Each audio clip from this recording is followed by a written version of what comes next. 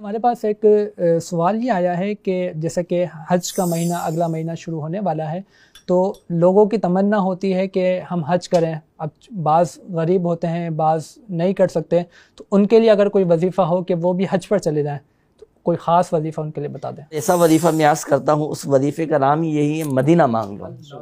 हाज़री Medina के इसबाब बन जाएँ हज के इसबाब बन जाएँ। ये नीयत लेकर भी आप ये वजीफ़ा करेंगे तो अल्लाह पाक गैब से इसबाब बना देगा। वजीफ़ा क्या है?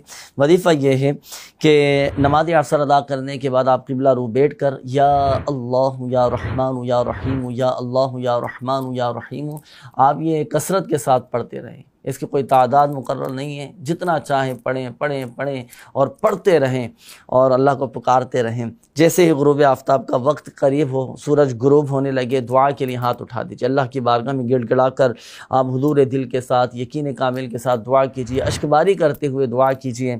दुआ करें अल्लाह पाक की बारगाह में और अपने खसूस हज के इसबाब बन जाएँ। इसके लिए दुआ कीजिए हाजरी मदीना के इसबाब बन जाए। इसके लिए दुआ कीजिए और बिलूम तमाम जायद हाजतों के पूरा होने के लिए दुआ कीजिए।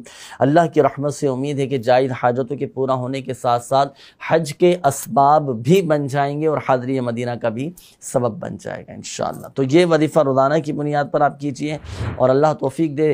तो जुमा के दिन, असर और मगरब के दरमियान तो ये लाजमी अमल कीजिए कि जुमा के दिन, असर और मगरब के दरमियान कबूलियत वाली सातें आती हैं, कबूलियत वाले लम्हात आते हैं, दुआएँ कबूल होती हैं। आप ये अमल करें, हम सब के लिए भी दुआ कीजिए। अल्लाह पाक हम सबको बार बार बार बार हज की सआदत नसीब फर